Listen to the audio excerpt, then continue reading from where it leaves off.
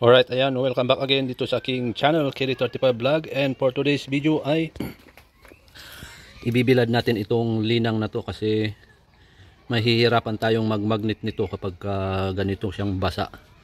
Ayan, so galing po ito sa ilog. Galing yan sa ilog, gold panning. Ayan.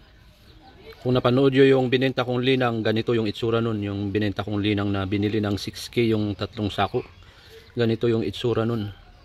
Pero yung binenta kong yun wala itong mga itim niya. Yung black sun yan kasi yung tatanggalin natin mamaya pagka natuyo ito. Imamagnet natin yung black sun para matanggal. Kasi wala namang ginto yun. So mabilis lang siguro matuyo to kasi tirik yung araw. At bibilad lang natin to tapos babalik natin ay babalik tayo mamaya at magmamagnet na tayo. Alright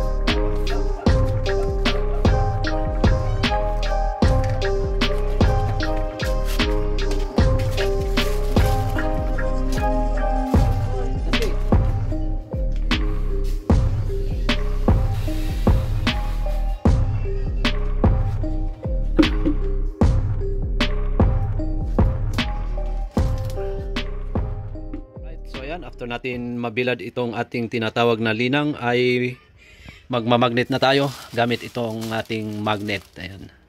Ang imamagnet natin kasi ay itong maiitim na yan. Ayan black sun po yan.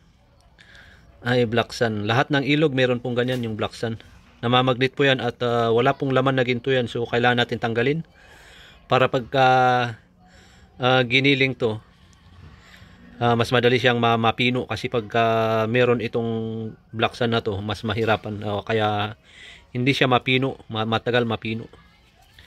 Yan so i-magnet natin gamit ito. Yan. Okay so ganito yung paraan ng ating pagmamagnet. Kailangan ganito lang siya. Meron siyang gap na ganin, ganun. Kasi pag diniin mo yan ganyan masasama yung masasama yung ano yung linang. Ayan nasasama yung linang. Kasi dapat hindi mo ididiin na ganun kasi masasama talaga yung mga linang na ano ayun. Ang kailangan lang gawin natin, ang kailangan lang uh, kukunin natin is yung itim talaga, yung black sun. So para makuha natin yon ganun lang siya kababa. Huwag natin ibababa ganun. Kung mapapansin nyo, yung kulay itim lang talaga yung nakukuha. Ayan. Ganyan siya. Ayan. Yan. So kung napapansin nyo, ayan, hindi na nasasama yung yung ganito, yung linang na tinatawag. Alright. So tuloy natin.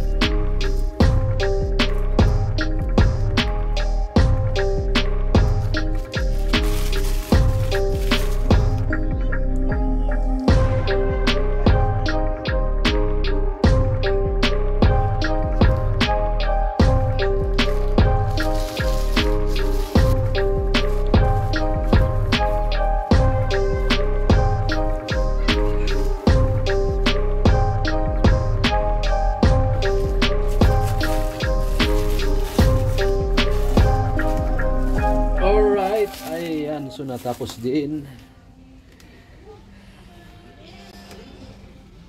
ayan siya, ganyan siya yung itsura niya. At ito yung itim na na magnet natin. Ito kasi is bakal siya, bakal ito. So kaya siya namamagnet. Ito ay wala siyang ginto, kaya patapon ito. Ayan, mabigat eh. At ito yung linang na tinatawag, ito yung may laman na ginto. Yan. Medyo matagal kong tinabaho to, kaya shortcut shortcut lang ginawa ko. Yan. Alright, ayan. So yun, hanggang dito na lang muna tong video natin at ah, abangan nyo na lang sa susunod nating video kung paano natin na i-recover ang laman nitong ginto. Ayan. So, ah, abangan nyo sa susunod nating vlog kasi gagawin ko ng vlog ito kung paano natin i-recover ang laman ng ginto nito. Ayan. So, maraming salamat sa mga nanood dyan at ah, kung nagustuhan mo tong video ko, nagustuhan mo mga vlog ko about sa ginto, i-subscribe mo ako dyan at ah, mas maganda ipindutin mo yung ah, notification bell icon dyan para yun ah, ma-update ka sa mga video na aking in-upload. Ayan. So maraming salamat at kita-kits sa ating susunod na video. Peace.